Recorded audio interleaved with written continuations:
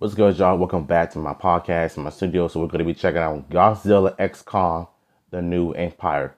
Let's check it out.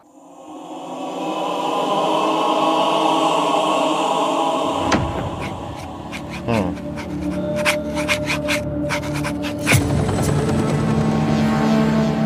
For most of human civilization, we believed that life could only exist on the surface of our planet. Hmm. What's going on here? Ah, here we go. Whoa, what is this? What else were we wrong about? My man got the Infinity Gauntlet on his wrist. What is this?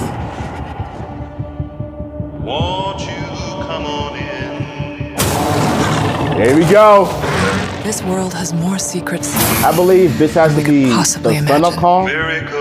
My man's rocking a gray head. Ah, look at the battle axe. Still. Oh, that's his son. Now and then. Oh wow. Oh wow. Look at the animations. This is interesting. That's not Kong. Oh, this is Who getting could have done good. this? Yo, look at the effects though. wow. Yo, look at the beast. Yo, my man Kong rocking the gray hair though.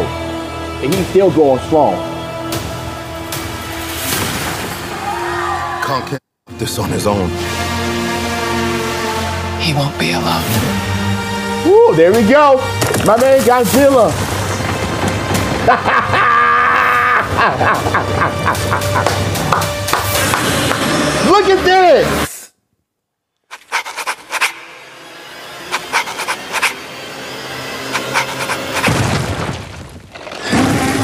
Who is this? Woo! Oh my god! Oh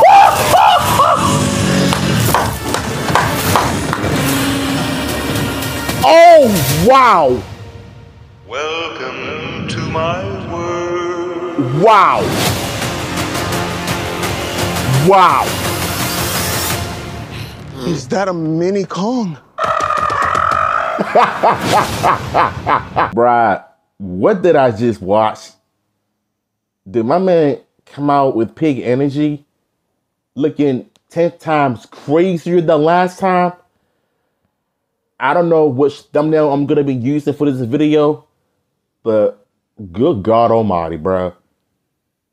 Did y'all see when my man came out? His eyes were glowing, the pink neon colors just popped. This is exactly what I'm talking about when it comes to kaiju film. Yes, the stories are not right, but when it comes to the VFX, they know how to nail it out of the park every time.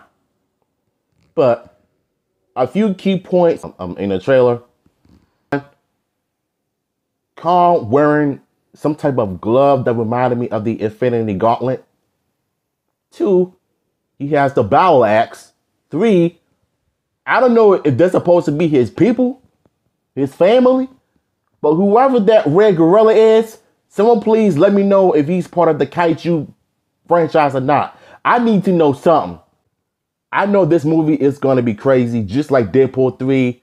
2024 is going to be one insane year when it comes to Godzilla and Kong, two of the most iconic figures in the franchise history. Sign me up.